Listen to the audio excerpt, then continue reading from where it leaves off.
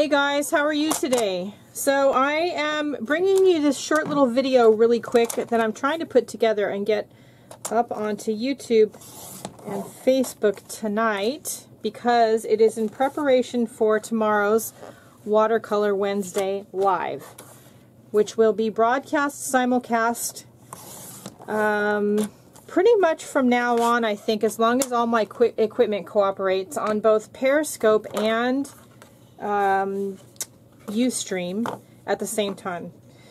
Like I said, equip equipment, as long as the equipment cooperates, we will be doing that. Um, whether or not it cooperates, you know, I don't know. We'll have to see. Let me just punch these holes before I get too distracted. So, um, from now on, we are going to be doing some at least every other week. There we go.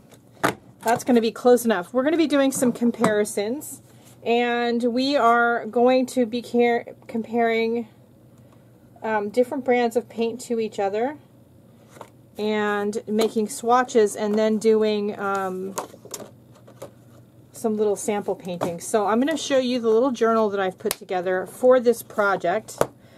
This is a Heidi Swapp binder that I picked up on clearance at Tuesday morning. Now, it was like three bucks or something. I did notice when I got it, the tabs like hung out the end. You just saw me cut them off and shorten them and repunch the holes in them. They're like, they're too long. And when you closed it like this, the tabs stuck out past the binder cover. I didn't like that. Um, you can use anything, something inexpensive. I like the idea of a binder because we can add pages as needed, change them around as needed. You can add tabs, you could make notes. If you get flyers from the manufacturer um, or printouts from the manufacturer, here's one from Daniel Smith. You could actually, you know, cut it down to size, reformat it. This is a really big one. And you could punch holes in it and you could actually get it in here um, if you have a binder, which so I really like the idea of having a binder.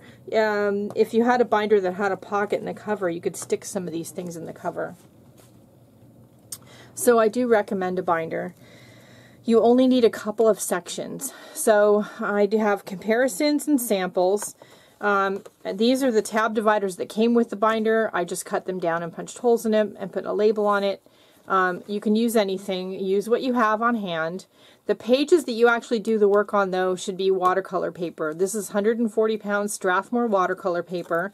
And on the comparisons one, I created a chart. And we'll have the brands here, colors across here, and we'll have six basic colors like yellow, orange, red, green, blue, purple. I think that's what we're going to do. So I'll write the basic colors in here, the brand here. As we do each brand, say Daniel Smith, I want a yellow, but maybe I don't have the exact same color yellow as I have in the brand I'm going to compare it to. I'm going to make sure I write the particular yellow color name. In the Daniel Smith case, it's going to be Hansa Yellow Medium. Um, that name inside the square with the paint swatch. So you want your square, because you're going to be painting and writing in the square, you probably want it to be, these are an inch square, so you want it to be at least an inch. Um, and I used the Sharpie marker pen, which is waterproof, to make the chart. And then in the sample section, each one of these section is going to have four brands to compare to each other. In the samples section, you want to create four squares to do four paintings with those same sample uh, brands that you did on the sample chart um, here. So here we're going to just swatch the paint colors and compare them to each other in the different brands, all the different yellows, all the different oranges. And here we're going to create little sample paintings with those same brands of paint. We're going to do this every other week, comparing different brands to each other. Uh, there's lots of really great brands of paint out there. Lots of them are really greatly pigmented. Almost all of them have colors that are extremely light fast and some that aren't even rated.